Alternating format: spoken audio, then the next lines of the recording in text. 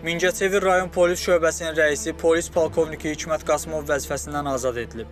Muğan televiziyası xəbər verir ki, bununla bağlı Daxili İşlər naziri general polkovnik Vilayət Eyvazov əmr imzalayıb. Əmrə əsasən Hikmət Qasımov Səbail rayon polis idarəsinə rəis təyin edilib. Daxili İşlər Nazirliyinin mətbuat xidməti faktı təsdiqləyib. İmran Zeynalov, Muğan TV.